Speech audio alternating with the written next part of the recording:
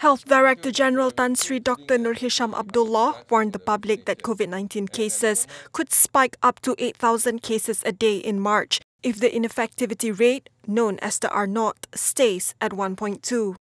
In a Facebook post on Thursday, Dr. Noor Hisham referred to a susceptible, exposed, infectious, removed model on the forecast of daily cases from January to May.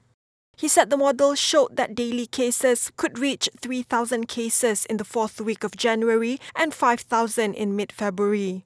On Thursday, Malaysia recorded 3,027 cases, the highest since the beginning of the pandemic. He added that the R naught needed to be reduced to 0.5 to break the chain of infection in the country.